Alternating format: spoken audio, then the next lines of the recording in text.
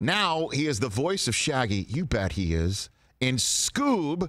Exclamation point. That my kids insisted that we watch on Friday night, and I watched every glorious frame of this. Uh, I guess that makes my children those meddling kids. He is Will Forte. How are you, Will? I'm doing great. How are you? I'm great. It was. I just. I love chatting with you. I'll just say that right off the bat.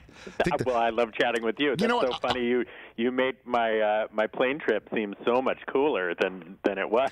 Well, let me let me add about the last plane trip that I took with you, Will, if you don't mind me saying. It was uh, on the way back from the Big Slick when uh, you were passed out the whole way because I think you did karaoke up until the time we uh, we took off. Will? Oh if I'm yeah. Oh well, you know, I'm I, if, mistaken. if I'm going to expend all of my my body's energy resources on anything, it's going to be karaoke. I was going to say that to my kids. You know, hey, for daddy points, you know, the voice is Shaggy. I watched him passed out an entire flight home from Los Angeles to Kansas It was, City. it was a good passed out. It wasn't was. like a sad passed out. No, it was not. By the way, you could.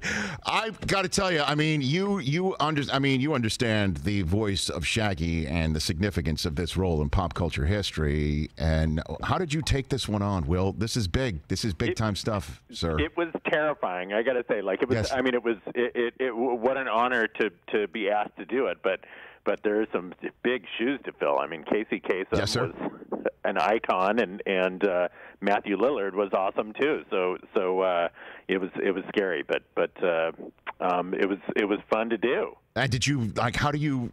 Like, do you download uh, previous episodes, or what, like, how do how does one prepare You for the did- voice you of did- Shaggy? yeah, I just studied a, bu- a bunch of stuff, but my my studying something.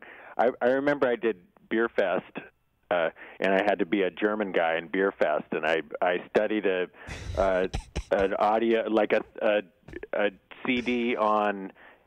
German, like the first year German studies, and then also a specific thing that was how to speak with the German accent. And I, for like a month, I did this, and I still went and did Beerfest, and sounded way more Chinese than German. so, so uh, you're saying you do a better Shaggy than you do uh, a German So beer th- fest guy. That's just saying, as much preparation as I can do, it still sounds like what it sounded like. My kids loved it, man. We did. The Oh, whole great. family did. It was great. We spent the whole Friday night watching. It's a fun movie. It's a fun. There's so much going. It's, it's all these awesome Hanna Barbera characters that I grew up loving. It was really fun to be a part of. I know. It's just like you know. Um, I, I don't know how. To, if I was dating myself to tell my kids, I know all about Captain Caveman. You know, I know all about Dynomutt. You know, who they were Yep. very excited at Ken Jeong because they're big Masked Singer people. Um, you know, hearing Tracy Morgan as Captain Caveman was a phenomenal twist on the character. I think. Oh, yes. Will. You know. He is the funniest guy. I mean, I, all those guys. So many funny people in this movie. Uh, but Right. Tracy Morgan. I mean, geez, that that guy just is so funny in everything. It was great. It really, really was terrific. Hey, you watched all the way to the end. Thanks for that. Watch more right here.